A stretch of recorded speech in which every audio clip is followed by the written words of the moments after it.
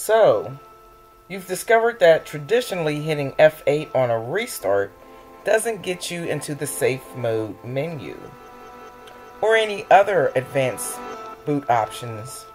Yeah, I was shocked too. FYI, Microsoft disabled this feature in the Windows 10 OS to speed up normal boot time. However, this next sacrifice of technical effectiveness in favor of functional efficiency creates a bit of an inconvenience when you actually need to boot into other modes easily. Here's the quickest workaround that I've researched thus far. So here's the quickest way, the easiest way actually, so far that I've found to get into advanced boot options such as safe mode and additional booting modes that you no longer are able to use F8 to get into upon a restart. Go down to the Windows Start button, click it, go into your power options, click. You're going to go to restart, but don't press it yet.